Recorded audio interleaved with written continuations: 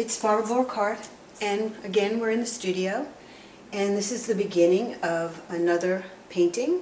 This painting is on paper, which tends to require less paint than canvas.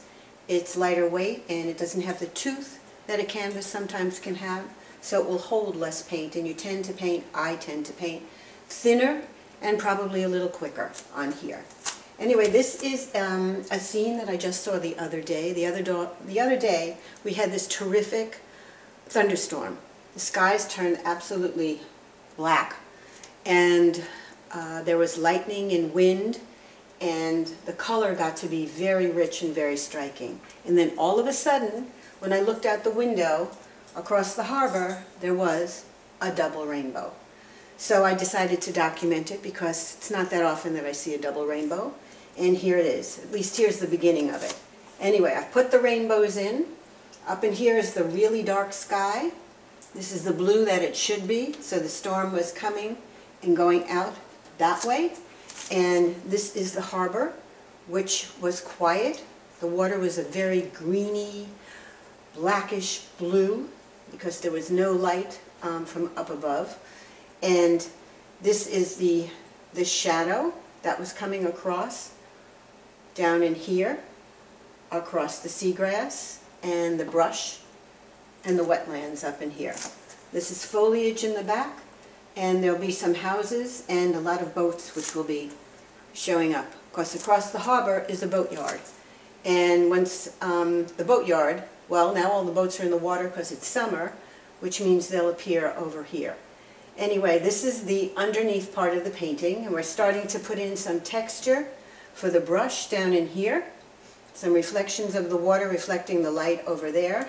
Definitely not over here because it's too dark. And you can see all the different colors in the brush. It wasn't green, the light was so eerie, it was sort of goldish, rust kind of color. Same thing as the foliage in the background.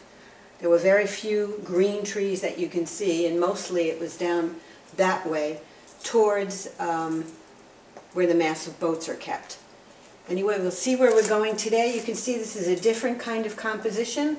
I'm almost, I am parallel to the paper, which is kind of rare for me, but the rainbows sort of pull you in and up and over, so you can get this feeling of something's going on way out there. The light is coming in.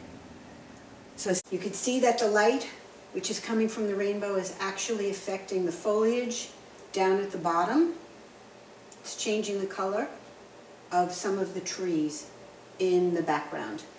What I've done is put in some buildings, some boats, and some different color foliage all along the back part of the harbor. This is the harbor in here. Um, the boats are moored along in here. They're starting to come in. And these are where the boats have been stored for the winter. Um, some are on cradles and they are lifted up and stacked one next to another, and possibly they are going in this year, possibly not. But this is how it looked during the double rainbow.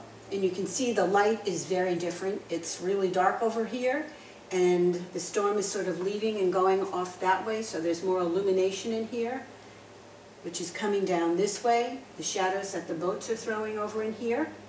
I'm going to put in today some bigger, taller masts going up with some rolled sails. The masts along here, and there'll be some more boats moored along in here. So we'll see where we go today.